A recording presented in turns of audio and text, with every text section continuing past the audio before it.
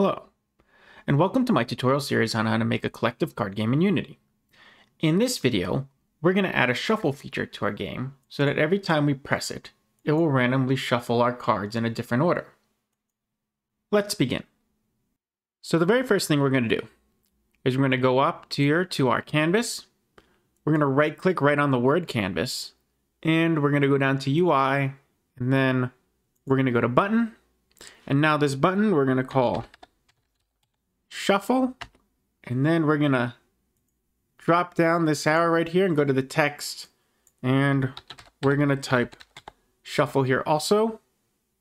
And then we're to click up on our shuffle button. Click here so we have uh, command of transforming it to a different location. And we're just to raise this up here like this, just above our card for right now for when we shuffle. So next we're going to go into our player deck C sharp script. And we're going to create another public list just like this. Only it will have a different name. This one will be called container and it's going to equal new list and same as the other one it's card inside the brackets because that's where we're getting the information from our list from, just like everything we've been doing before in the card database. So down here, we're going to create a public void, and we're going to call it shuffle, parentheses, oops, brackets, and then we're going to say for int i equals 0, semicolon, i less than deck size, semicolon, and then i plus plus. And then we're going to create brackets for our for loop here. And we're going to put container at zero and is going to equal deck i and semicolon and then an int which is going to be called random index and that's going to equal a random range dot range and that range is going to be, its parameters are going to be i and deck size. At the end of that will be a semicolon and deck i is going to equal deck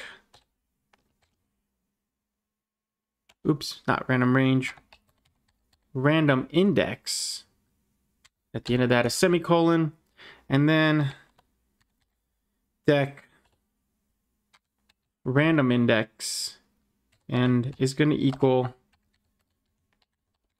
container zero and at the end a semicolon.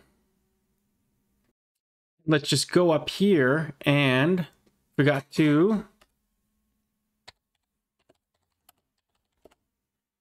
include our int deck size. And now that I see it, I also forgot to put a parentheses at the end of this, just like up here. And it would also help to spell the word random correctly. So we created our new list up here and we have this public int now called deck size. And you can use deck size down here instead of 40. And you can also use a number here actually. It will work just the same.